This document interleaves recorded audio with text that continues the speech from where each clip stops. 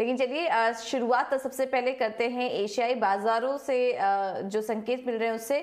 और काफ़ी स्ट्रॉन्ग इस वक्त जो क्यूज हैं वो दिखाई दे रहे हैं। एच निफ्टी देखिए, अठारह हज़ार के पार दिखाई दे रहा है 118 अंक ऊपर है। इसके अलावा हांगकांग के बाजारों में भी देखिए, करीब दो परसेंट से ज़्यादा की तेज़ी है।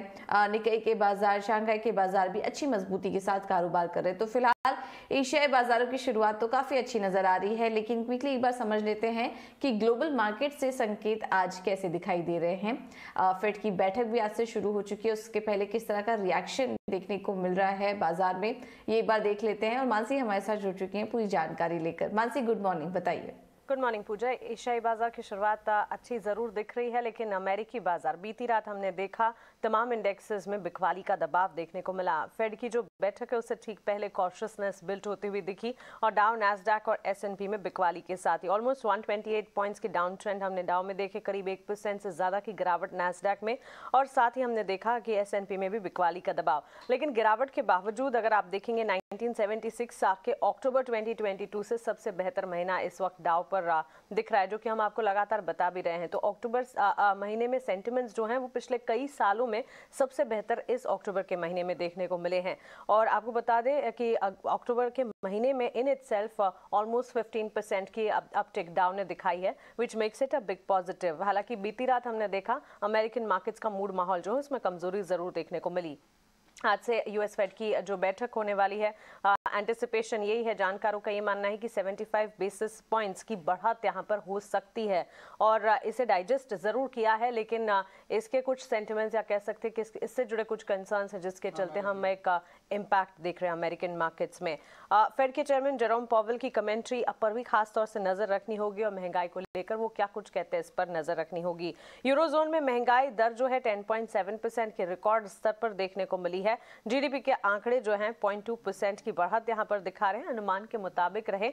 लेकिन बावजूद इसके हमने देखा यूरोपियन मार्केट्स जो हैं, उसमें यहाँ पर एक हायर ट्रेंड ज़रूर देखने को मिला। इन्फ्लेशन डेटा इतने भी अच्छे नहीं थे जो जीडीपी के आंकड़े आते हुए दिखे। आ, लेकिन फिर भी European markets on a positive note बंद होते हुए दिखे हैं। एशियाई बाज़ार जैसे कि आपने बताया अच्छी शुरुआत यहाँ पर देखने को मिल रही है। ऑयल प्राइजेस की तरफ़ अगर आप रुक करेंगे फेड बैठक से पहले हम देख रहे हैं ऑयल प्राइजेस का ट्रेंड जो है डॉलर इंडेक्स जो है उसमें एक इम्पैक्ट आता हुआ। ऑलमोस्ट 111 के लेवल्स पर डॉलर इंडेक्स आप देख पाएँगे। US ten year bond yield चार परसेंट के ऊपर है और बुलियन मार्केट में दबाव देखने को मिला है। एक महीने में सोना जो है करीब एक डेढ़ परसेंट की गिरावट दिखा चुका है। यूएस में उत्पादन बढ़ने और चीन में कमज़ोर मांग के चलते कच्चे तेल में जो है कमज़ोरी इस वक्त आप देख पाएँगे। ब्रेंड क्रूड ऑलमोस्ट 94 डॉलर और बैरल के आसपास ट्रेड करता हुआ। क्रिप्टो करेंसी की अगर बात करें बिटकॉइन मार्जिनली डाउन ट्रेंड दिखाया 2500 डॉलर के लेवल्स दिखाते हुए। डॉलर इंडेक्स में एक स्ट्रगल है और यूएस टेन ईयर बॉन्ड डील जो है ऑलमोस्ट फोर परसेंट सो यहाँ पर एक अपटिक है जो कि लगातार बढ़ती दिख रही है तो इस पर नज़र रखनी होगी। ऑल इन ऑल मिले जुले संकेत कहने चाहिए, क्योंकि अमेरिकी बाज़ार में गिरावट रही, एशियाई बाज़ार की पॉजिटिव शुरुआत है। ठीक है तो मिले जुले संकेत इस वक्त दिखाई दे रहे हैं ग्लोबल मार्केट से और नज़र है फेड की बैठक पर, जो कि आज से शुरू हो चुकी है और फेड चेयरमैन की तरफ़ से क्या बयान आते हैं, इस पर भी हमारी नज़र रहेगी और उसके पहले हम देख रहे हैं कि यूएस टेन ईयर अपने ऊपरी स्तर पर हैं, सोने में कमज़ोरी है डॉलर इंडेक्स में भी इस वक्त तेज़ी देखने को मिल रही है। तो फ़िलहाल इस तरह का कारोबार है, अब देखना होगा कि फेड का आउटकम क्या होता है, उसके बाद ग्लोबल बाज़ार उस पर और दुनिया भर के बाज़ार उस पर रिएक्ट करते हुए नज़र आएँगे। चलिए, अब शरद भी हमारे साथ जुड़ चुके हैं। वो आपको बताएँगे कि नतीजे और खबरों वाले शेयर्स कौन कौन से हैं। Good morning, Sharad. तो हमारी पूरी टीम इस वक्त रेडी है। लेकिन शरद पर जाने से पहले एक बार आपको मार्केट में रणनीति क्या होनी चाहिए ये भी बता देते हैं। सबसे पहले देखते हैं कि संस्थागत निवेशकों के आंकड़े कैसे थे। और एफ़ और डी के आंकड़ों पर अगर हम नज़र डालेंगे तो इस बार इस वक्त हम देख रहे हैं कि एफ़ की तरफ़ से कल हमने देखा कि कैश मार्केट में 4,178 करोड़ की खरीदारी एफ़ कैश मार्केट में करके गए। अगर डीआईएस की बात करेंगे तो उनकी तरफ़ से बिकवाली हुई है करीब 1107 करोड़ की।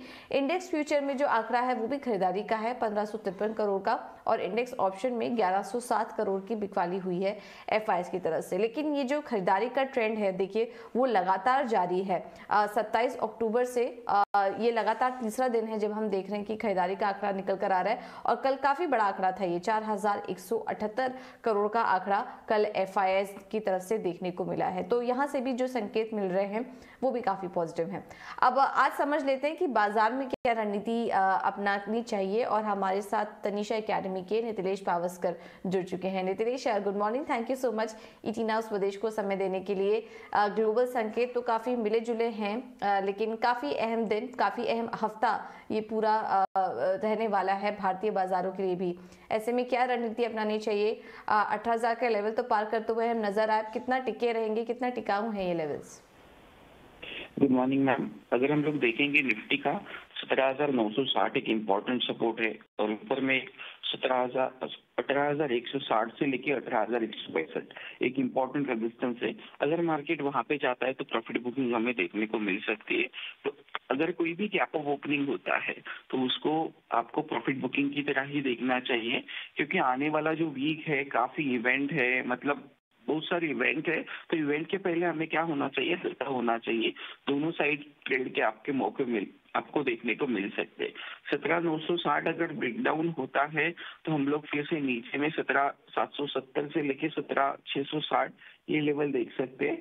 अभी के लिए ऊपर का जो दौर है, सत्रह, अठारह हज़ार एक सौ साठ, वो मेरे हिसाब से एक रिकॉवरी का दौर हो सकता है।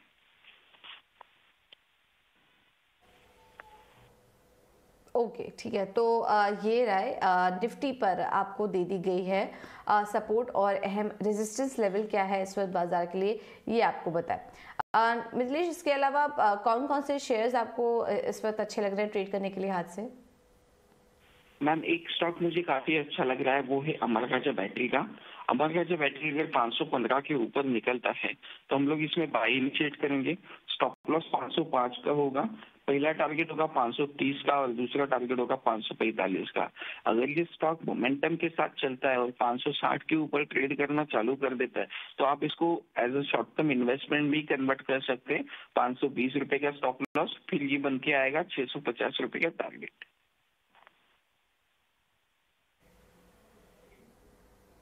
ठीक है। बहुत बहुत शुक्रिया नितिश आपका ये रणनीति सुझाने के लिए। बैटरी बैटरी स्टॉक्स में हम देख भी रहे हैं, हाल फ़िलहाल में अच्छा रुझान भी है, यहाँ पर तेज़ी भी दिखाई दे रही थी। आज यहाँ पर आप खरीदारी करके चल सकते हैं 530-45 के लेवल्स के लिए।